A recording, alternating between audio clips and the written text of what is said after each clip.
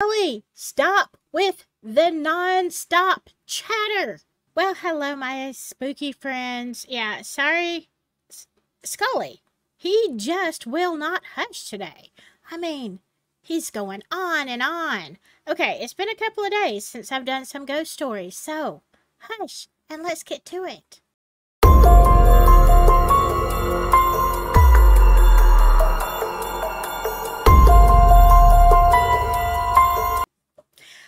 Right. These are submissions by you, my subscribers. So if you like spooky stories, you know, true ghost stories, then you might want to consider subscribing. It would be great if you did. And if you're new to this channel, I'm Silky. That's Skull. Wait, that's Scully.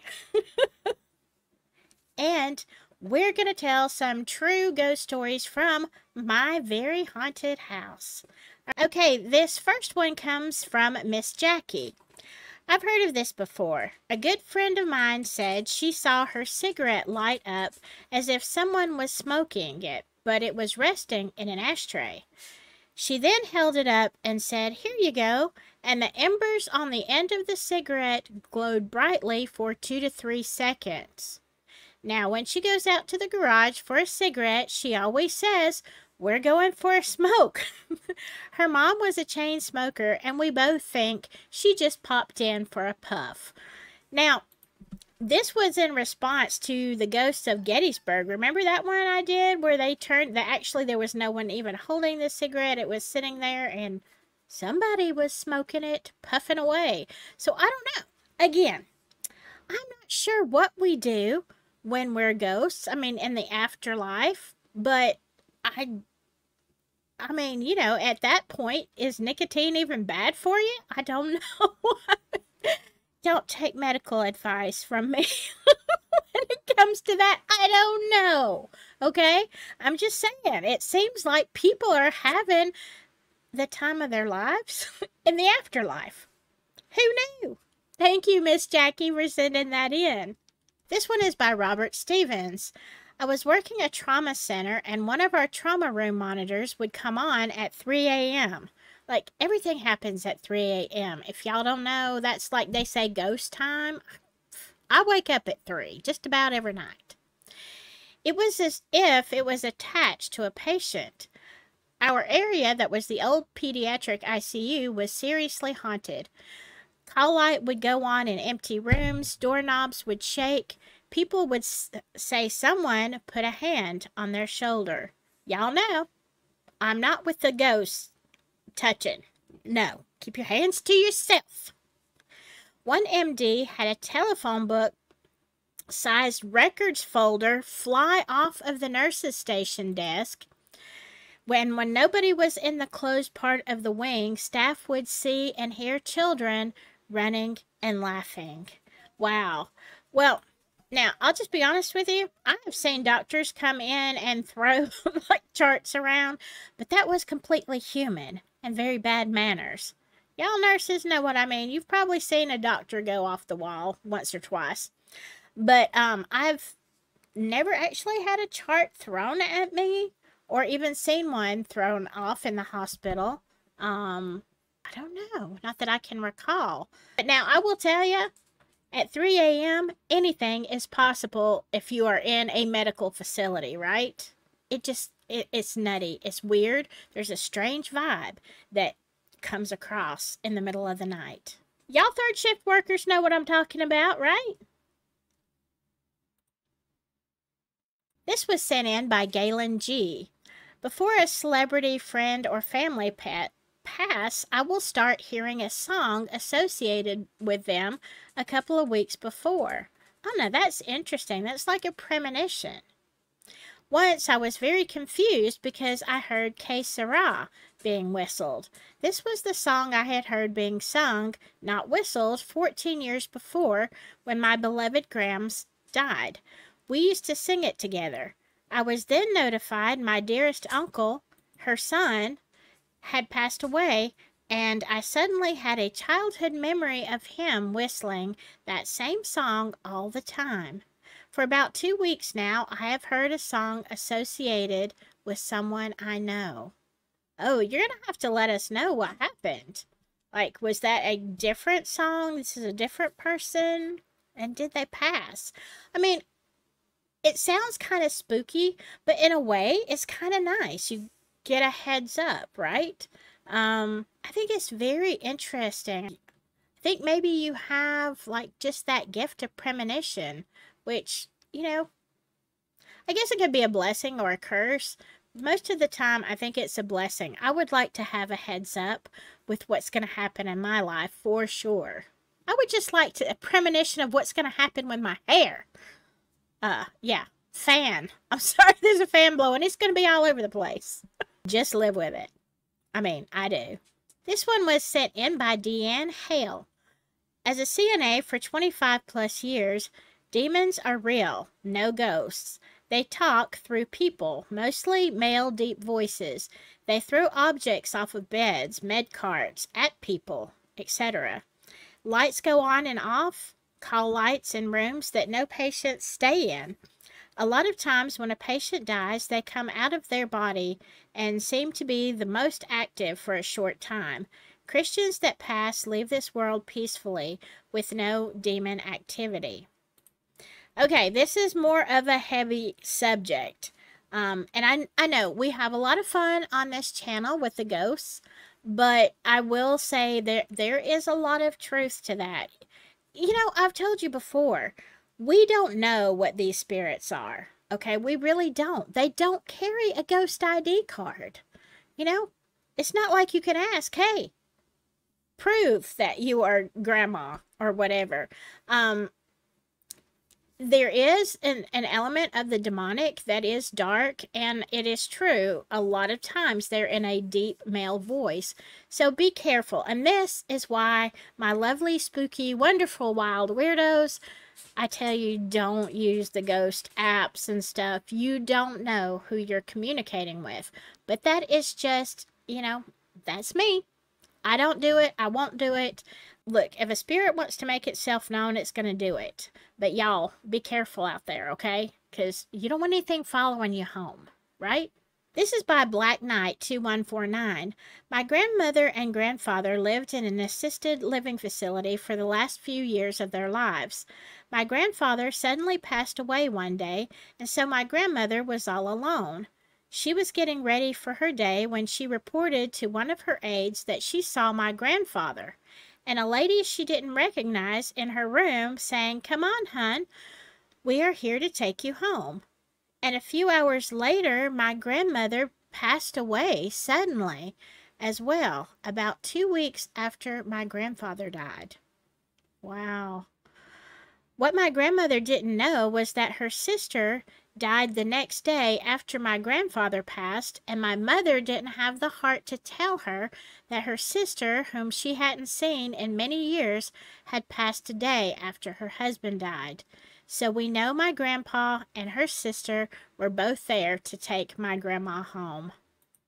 Now, these kind of stories, I have heard so many people uh, with near death experiences say that their relatives came to get them. And we all know, as healthcare workers, they start talking about mama and daddy and people who have passed away, they are on their way out, usually. And look, I completely understand not telling her her sister passed. Like, that's too much for a person. I have seen that done a lot of times. Like, you give them time to grieve one person. But then, like, she passed and didn't realize, whoa, that is crazy. I mean, I hope that was her sister. Like, that wasn't some floozy that he picked up, was it? I mean, probably not, but you gotta wonder. I'm just kidding. think it was her sister, and I think that is a beautiful story. Thank you for sending it in. This one comes from Mary Marcus 5042. I worked at an LTAC once, and we had a quadriplegic patient who had been there for months. He was constantly on the call light, which sometimes frustrated the nurses. I feel ya. I feel ya, honey. he would even hit the call light while the nurse was in the room because he knew it irritated some of the nurses. Oh, he sounds like uh, he was a character. He was a handful. Eventually, he passed away in the room he had occupied for many months. The day after he passed, we were standing at the nurse's desk right across from his now empty room when the call light sounded. We all had to stop and were just there staring with our mouths open, as in, what? we checked in the room thinking the call light was malfunctioning, but when checked, it seemed to work normally. That call light continued to sound every little bit for that day. Biomed checked the call light and it was working fine. Okay, that was, I guess I cut that off, but there was no malfunction. Wow. Yeah, I've had patients like that who literally just get a kick out of aggravating you. And it sounds like he just wanted one more day, just one more day when he was feeling good to aggravate you. Maybe before he went. I don't know. You know, like there are some cultures that believe that you stay around for three days after your death before you actually transition to somewhere else. I don't know if that's true. But uh yeah, he sounds like a stinker. but you all probably missed him a whole lot. And this one comes from Cute Cat Vids 29. I was a hospice nurse and was close to a patient who had brain cancer. She and I had many talks about her death and about dying. She was afraid of death and what her death would do to her family. The last month of her illness, the tumor had grown so big that it had completely incapacitated her, and she could no longer move or talk. Ah, She was in a coma state. I continued to visit, of course, and kept talking to her even though she could no longer respond. Going into the weekend one week, she had started to show signs of imminent death. The death rattle, irregular breathing, mottling, I knew she was going to pass that weekend. I asked the on call nurse to let me know when she passed so I could come be with the family. I had my work phone with me that weekend, but missed a call from the patient's house phone number that was placed approximately 15 minutes before I found that someone had called from the patient's phone. There was a message left. The message was static, and then the voice of my patient, who had been in a coma for almost a month, spoke very clearly and said my name and said goodbye. Then the message cut off. I called the on call nurse to ask if the patient died. She said she was on her way to the house to pronounce the death and finish up the post mortem tasks and hadn't had time to call me to let me know. Oh my goodness. I called the family immediately and asked if my patient had suddenly awakened and they and had called me to let her say goodbye or they had called me to let her say goodbye. They said the only call they made was to on-call nursing. I am usually pretty skeptical and to this day I cannot explain it. Later that week, I saw the patient's family and played the voicemail for them. They all recognized her voice and were as amazed as I was. To this day, I cannot figure out a logical explanation for what happened other than she called me to say goodbye as she passed. Now, that is a crazy story. And look, we know so many times that spirits can manipulate technology and electronics and stuff. So, wow, did she call you to say goodbye? I mean, if it was, man, if that was her voice, and the family even said that was her voice, but she was, you know, basically out, not responsive at all. Wow, that is really sweet. Maybe, you know, the angels, whoever came to get her, maybe they helped her dial that number as she was leaving. I think you meant a lot to her, and she wanted to let you know as she was leaving. You know, that's not the first phone call uh, that we've ghost story that we've heard. Remember the one about the call like months later and the picture? Oh my gosh, that one was terrifying. Um, I think this is beautiful, and it really is the kind of thing that makes you go, hmm, exactly what is going on here. Um, Ghost be wildin'. I don't know. Uh, all right. I hope you enjoyed these stories. Again, if you like True Ghost Stories, you can email me at Evelyn Cottage at gmail.com. if you don't want to put it in the comments, sometimes things get buried in the comments and I don't see them. So if I don't respond, that's probably it. It got buried somewhere.